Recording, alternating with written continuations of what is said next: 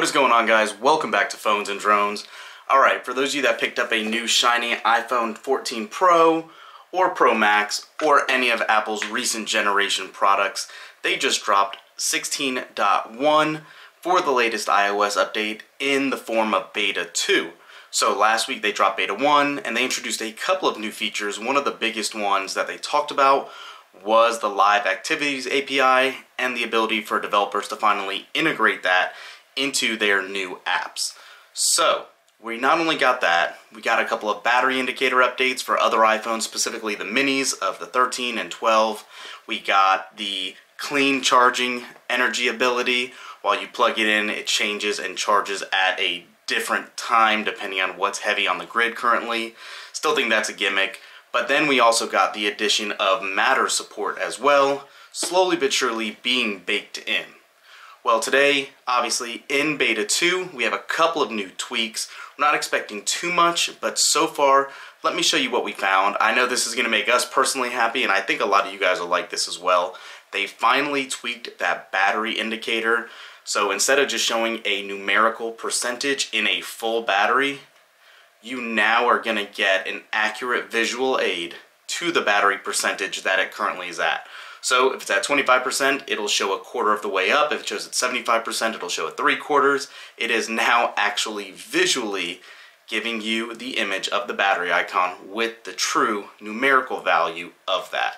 I know it's silly, I know it's a little thing, but this is actually much more obviously visually appealing than what it was prior with just a numerical value and an incorrect battery icon. So, as silly as it is, that's the most recent update we found. Let's look at this right now.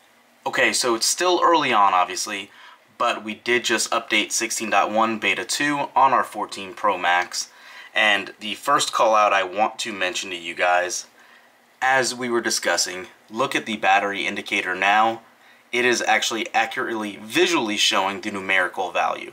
So the battery is not showing, I should say the battery icon is not showing full when it's truly at a lower percentage point.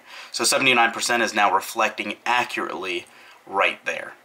So tiny thing, but always good to have. Talking about battery indicator as well, back in iOS 15, when you were charging your phone, you would see the battery percentage. Now, unfortunately with iOS 16, unless you have a battery widget showing, it does not give you any outline of your actual battery percentage when you plug it in. Now there has been a rumor about this where when you plug in your battery, your phone to charge, you will now have a display up above where the uh, the date is located.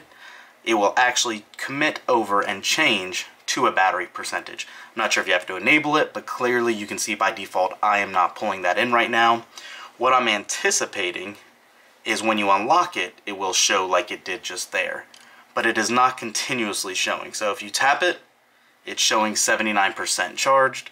Uh, I'm not sure if this is just a bug in the beta or whatnot, but obviously if you're tapping it, you're seeing your battery indicator right there as well. It should show that battery percentage we're just looking at on the AOD display. So just something else to keep in mind.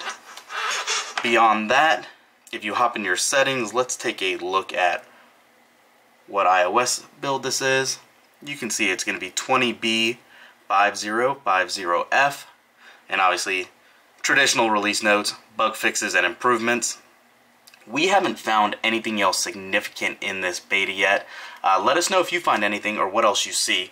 We know, obviously, iOS 16.1 did enable a couple of those other features we discussed about, so I'm sure we'll get a little bit more here in the near future, but for now, that is it. Thumbs up this video, guys. Comment down below. Let me know what you guys think, and we'll catch you in the next one. Peace.